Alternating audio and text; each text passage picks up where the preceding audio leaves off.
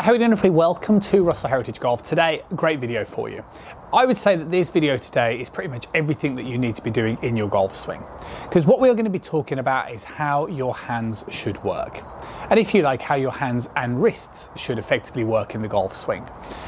Now, what you'll get out of this video is not only will you understand what they're supposed to do, but you will also learn that basically your body will have to respond to get the hands into the position that we need them to to execute a repeatable and consistent golf swing. So I'm hoping this video will really, really help many of you golfers out that have got uncertainty about exactly where your hands should be in the golf swing. Let's talk about hands and arms in the golf swing. What I'm going to do for today's demonstration is actually do it without a club. And like I said, we are trying to understand how our hands are trying to move throughout the swing. And what is essentially trying to happen in the backswing position is we are trying to make our hands travel on as wide an arc as possible. And this just basically means that the hands are trying to move, should we say, as far away from our body as possible in the backswing position. But we also need leverage, okay? So you can imagine with things like chipping and putting, because we're only moving our hands and arms to the side of our body on a very short distance, this is why we can be incredibly accurate with these shots. But we never get any distance, okay? So we also need to incorporate leverage into this as well. And leverage just basically means higher, okay? So those are the two big components in the sort of backswing position that you are basically trying to induce, okay? You are trying to induce width, okay? Making sure your hands stay as far away from your body, not close, so you're not excessively bending. And then you're also trying to demonstrate leverage, okay? And you will naturally move to the best of your capacity, right, to fulfill those two requirements. So if you're somebody who is sliding, you'll notice you're only going to be able to get so far without sort of bending and cheating on the width. Do you see what I mean? So we don't need to chat about wrist angles and wrist cocking motions and stuff necessarily at the first part of this video because I don't want it to get too confusing, right? Now, what then needs to happen is that as we start the descent in towards the downswing position, is we need to think about what we're trying to achieve. So what we're trying to achieve when we hit the golf ball is we want to make sure that when we hit the ball, the hands are ahead of the club head. Okay, so that means that I need to make sure that I'm demonstrating not a position which looks like so, see the way my hands are vertically placed over the ball, certainly not a position like so, see the way my hands, excuse me, are behind the ball, we are trying to make sure that we deliver a position where my hands are in front of the ball. And what you can see is when I do this, is the way that my, my sort of biomechanical um, makeup is completely changing, right? So this looks quite flicky and quite stuck, and this looks like a much more sort of professional position that we're trying to get into. So the question would be then, well, how do we avoid looking potentially this way, and how do we end up looking more this way? And the first thing that we need to understand is in the start to the downswing, you need your hands and arms working in front of your body. Okay? We don't want our hands and arms getting stuck towards the side of our body. This is going to be a big problem if you kind of start your downswing and your arms get stuck to the side. We want our hands and arms in front of the body coming in towards the downswing, okay, like so. And then from there, then we can again just apply the same concept of width coming in towards that through swing. So for the first part of this video, what we're basically summing up is the importance of width, leverage, and impact, width, and leverage, okay? Now, in the second part of this video, what we're gonna do is we're gonna just use a slightly stronger reference for now, if we're gonna grab the club, how the club should behave and perform by using the wrists, and what we're going to do finally in this video is we're going to take a look at somebody who I'm working with online and he's somebody who's kind of, should we say, a little bit more here.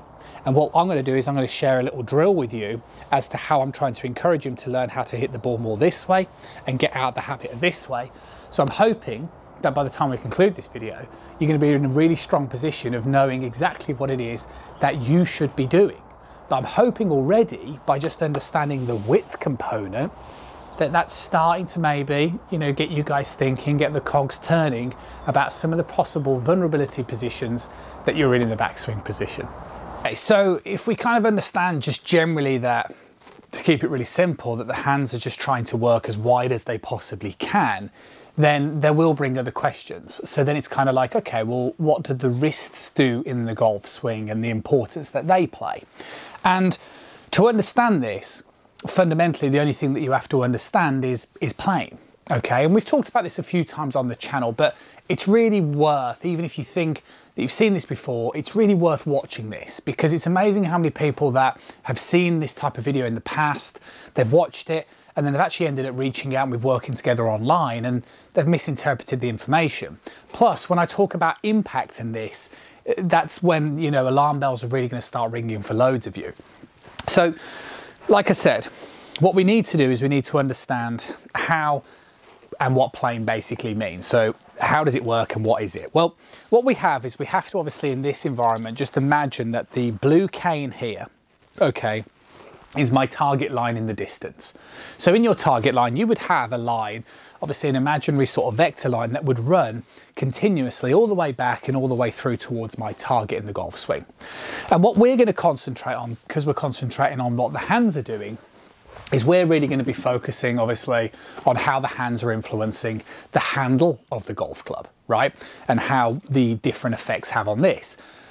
But the thing that gives it an even stronger visual is going to be using my laser pen. Okay, so the pure simplicity is that we have two rules, right? The golf ball, because we're trying to concentrate on the handle okay? The handle is going to control the shaft and therefore the club head is obviously, should we say, sort of opposite the actual shaft of the club. So our reference is going to be that we are trying to point the shaft of the club on the target line throughout its whole journey. And what this would mean is that the golf ball would be located just on the other side of it like so. And this would encourage us to keep the club moving on plane, right?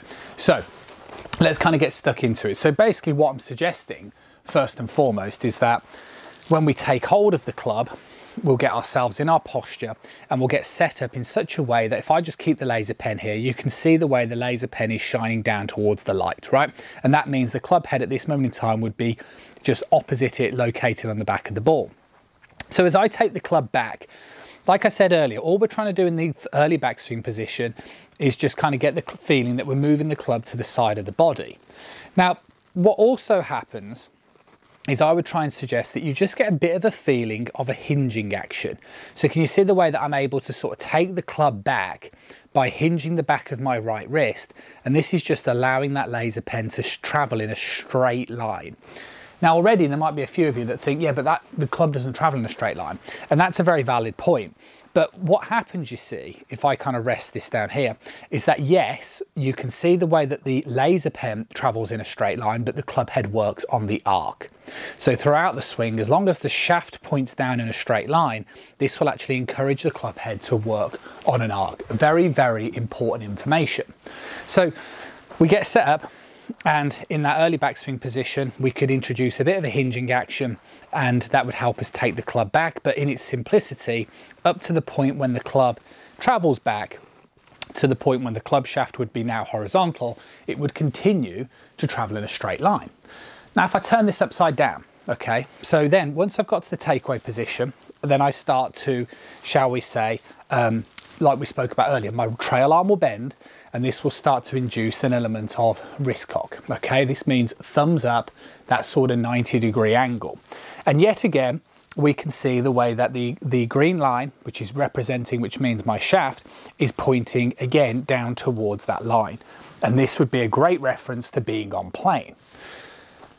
Now, in the backswing position, admittedly, it doesn't matter if you deviate off plane, right? It doesn't really matter if you take the club out there or potentially too much in here.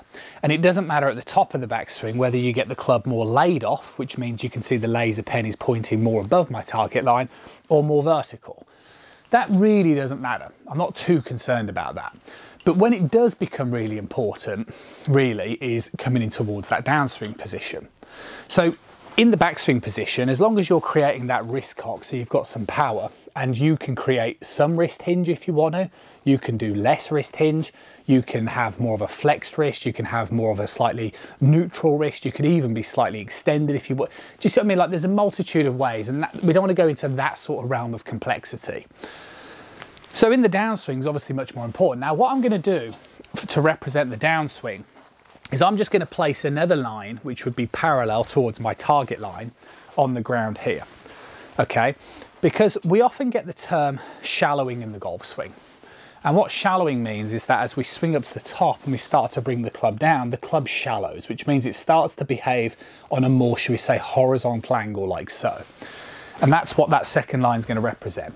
So we've completed our backswing position. We're in wherever we are, whether we are like so, whether we're flexed like we spoke about, that doesn't matter. But what does matter is as we now start the downswing, what we need to do is we need to make sure that as we start to bring it down, that the laser pen travels through the target line or shallow, right? Can you see the way then it could be going this way, it could be here, it could be here, it could even be more laid off than that. Those things don't matter. But what's important is that it has to still run parallel, right? So what you can't do is you can't swing the club up and then just have the shaft going off in that sort of direction. It has to run parallel through. Now, the thing that's going to do this as you start the downswing is obviously going to be your rotational motion, okay? So as you start the downswing, all you've got to concentrate on is that your hands are wanting to work in front of your body, like we spoke about earlier, yeah, staying in front of the chest. And as we sort of turn the chest, this means as long as that laser pen never travels, should we say, on this journey, this is a no-no and that's a no-no. As long as it runs parallel, either through the target line or above the target line, that's absolutely fine. This means that you are staying pretty much on plane. And what that'll do, any of you that get your arms too trapped to the side of your body, what you're generally going to find is that it's generally going to lead to a more vertical motion, which means it would come down this way. And that means that you end up compensating then to try and keep the club on plane by not turning. Okay, and we're going to talk about that in a moment. Here's the big thing though, okay, especially for any of you that suffer when it comes to that impact area.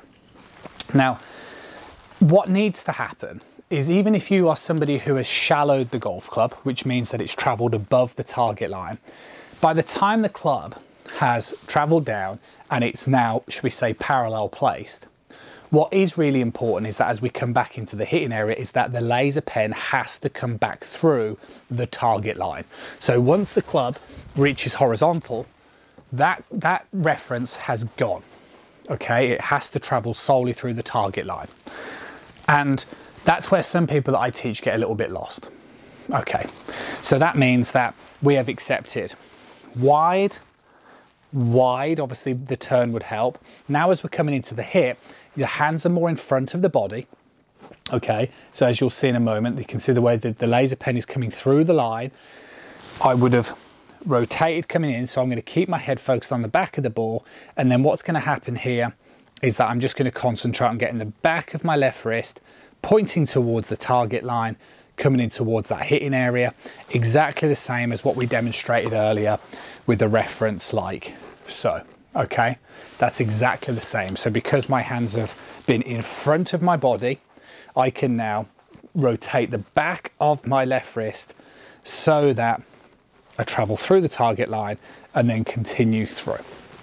That's really important.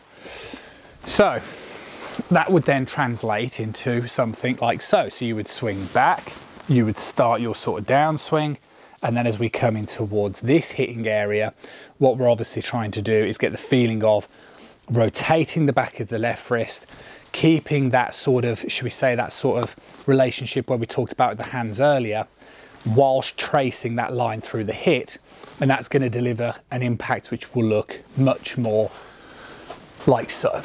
So what I think is the most sensible thing to do now is just have a look at an example of what I would class as a very typical amateur fault and how we're going around that education to try and fix it. So we have Pete's swing, right? So this is something that what we're going to do on the channel is not only am I going to just review a swing and point out some of the obvious stuff, what I'm hoping is two things. One, you'll relate to what Pete's kind of going through. Um, for those of you that suffer with impact and, and, what we're trying to get across is this sort of message. And, and two, um, what I'm also hoping is by doing some of the drills and, and chatting through and documenting this in weeks, months, whenever it might be, we can kind of go, look, this is where Pete is now. This is what we did to get to this level of progression and you guys can try and follow that if you think it's necessary. So what I'm going to do is, and you'll see why we're using Pete as, as the sort of example. So if we um, do a couple of little references in this video. So the first one, if, if we pop a line in here through the elbow line. Now that's what's known as your incline plane. Okay, so if I put another line in, roughly sort of parallel to where um, we kind of presume Pete would be aiming, which is pretty much over the buggy at this moment in time. Um, now the green line obviously represents the target line, okay? So what we'll see, and this is what I was trying to suggest earlier, is that if your laser pen points down towards your target line, this would also mean that the club would run up the incline line. So anyway, let's run through the swing. So the early backswing, we're okay here. Like I said, we're not going to be trying to look for something in, in utter perfection. Arms maybe a little bit close to the body, possibly. That could be something that when Pete sees this, this will be, you know, kind of hopefully a bit of a, you know, a, a different perspective for him as well. What we talked about in the first part of today's video was solely about width, that you're trying to get your arms away from your body. I personally don't think we're in a bad position here though. What happens as we initiate the downswing? Let's pause. Um, let's already sort of pause. Where should we go? Should we go up one frame? Let's go up here. So one of the things that Pete's become more aware of is plane. Okay, and this is something that you know we've kind of spoken about together. So what we can see here is if we draw a line through the shaft of the club, this is okay, this sort of position, because like we talked about earlier, it doesn't have to point perfectly down to the line. As long as it points above the line, then this again is, is completely acceptable. Um, as we start to come down, obviously with a bit of camera distortion, but again, we would draw a line. This would be again in a, a solid reference sort of position. Okay, so the problem that we sort of have, let's just quickly reintroduce that one. Um, let's go through the elbow line. So the problem that we do have though, and that we'll see is that although Pete's on plane, right, as we can see here, the issue that we have is that obviously his impact position is compromised, which means he's kind of quite a flicky sort of hitter. And if we kind of just go back up from the start of the downswing journey again, what we can see is the problem is the way that the right elbow is just lost to the side of the body. So because of the lack of rotation in his swing, that means he's not able to get his arms more in front of his body. And that's sort of the thing with Pete, as I see with many amateur golfers. So he's on plane, right? That's the confusing thing. It's like he can hit straight shots and he can hit some pretty decent shots. But his arms are stuck to the side of his body, which makes him vulnerable. So what I'm going to do to sort of conclude today's video is I'm just going to now talk about what we've been working on. And like I say, hopefully that will help you guys out as well. A bit in today's session. We've learned some simplicity stuff that you're just looking for width. We've talked about that your wrists are basically doing whatever they need to do to help you stay on plane, and we've discussed what plane is. And we're now finishing the lesson having a look at somebody that I'm working with so it relates to hopefully other golfers that are struggling and you you will be struggling right so what we kind of saw we just go back into uh, using my laser pen which is over here um, what we kind of saw with with Pete swing is that he was swinging the golf club on plane but in such a way where he sort of started the downswing, you know, his arms kind of came down to the side of his body. This is fine, right? Everybody's arms operate this way. It's just obviously when Pete starts turning more, that's why his arms will be more in front of his body. Because he had a lack of turn, that's why his arms look down here. But the problem is, is his elbow got so sort of stuck to the side of him that the only way you can really hit it is exactly what we talked about earlier. He can't hit it by now maintaining the angle that he wanted to.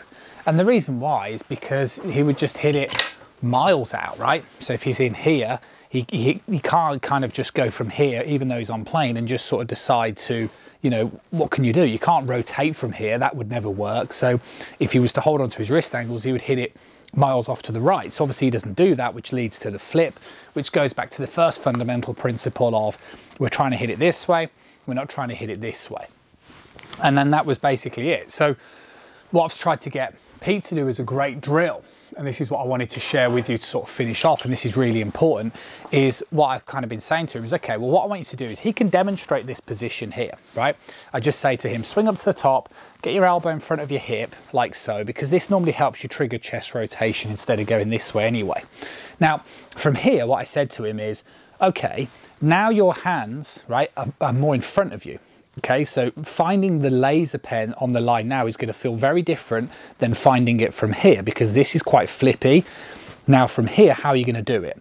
And this is what I wanted to share with you because this is probably the most important thing and this is what I would class as as my in my coach I'm looking for as a coach I'm looking for two things when I'm working with an individual. The first one is the most important and it's conscious competence, which politely means that if you can't demonstrate it in a drill or in slow motion, it won't materialize in your golf swing at all because it means that you have a lack of understanding for the correct thing that you're trying to change. So that's conscious competence. The second thing then is what I'm always looking for, which is not that relative to today, is okay, then you need the ability to exaggerate the feeling, okay?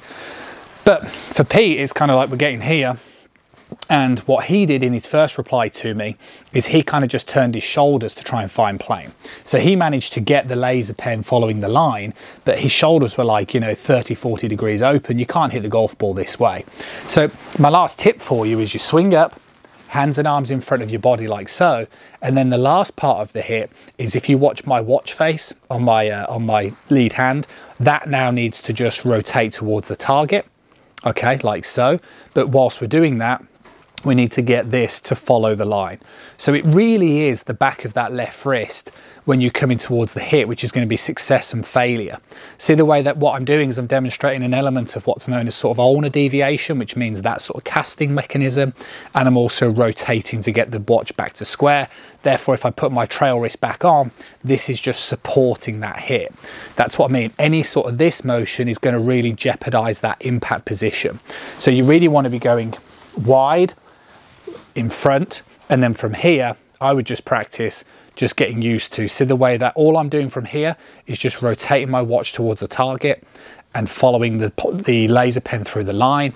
And what that's gonna do is that's gonna translate into this, which is a much better hitting area.